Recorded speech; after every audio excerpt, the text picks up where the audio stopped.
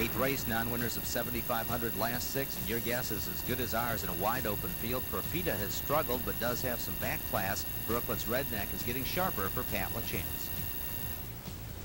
At the off, Brooklet's Redneck, uh, Assault and Battery on the far outside. The last Boy Scout in leaves with Ryle Hanover, and from the inside, see the Magic Man. And on the rail, Dudley's Dignity, four deep, and out of the pack comes the last Boy Scout end and Luc Ouellette.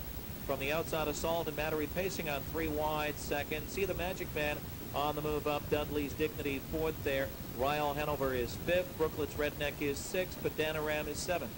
Sky Strike A parked out, then it's Profita next to last, and I Scoot Hanover 27 and 2.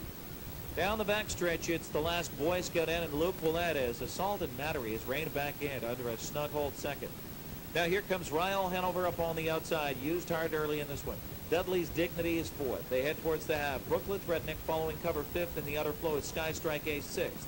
See the Magic Man shuffled back to seventh. Profita is in the outer flow fourth over. Joining it from the back, I Scoot Hanover. Then it's Padanaram at the half. The last Boy Scout and attracting a crowd there. 56 and 2 with Ryle Hanover grinding first over into the far turn. Assault and Battery in the pocket third with Brooklet's Redneck well situated second over. Right behind him is Sky Strike A third over. Dudley's Dignity gapping on the rail. Locked in behind the gapper is See the Magic Man. Profita's fourth over. And trying to rally from far back, I Scoot Hanover as they bunch up. See the Magic Man shook loose off the cones there in tight quarters.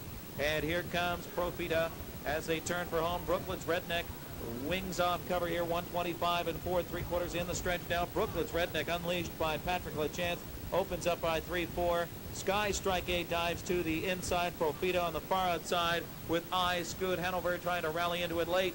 But it's Brooklet's Redneck here. Brooklet's Redneck will take it for Patrick LaChance. I Scoot Hanover was up for second time.